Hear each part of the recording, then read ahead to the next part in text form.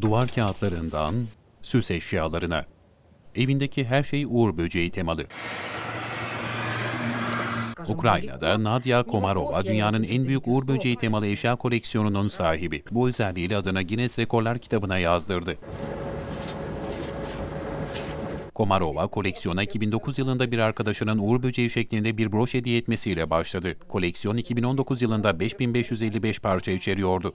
Komarova o günden beri koleksiyonuna 20 binden fazla parça ekledi. Nadia Komarova'nın dairesinde kanepeden duvarlara, el yapımı bebeklerden mutfak gereçlerine kadar her şey uğur böceği temalı.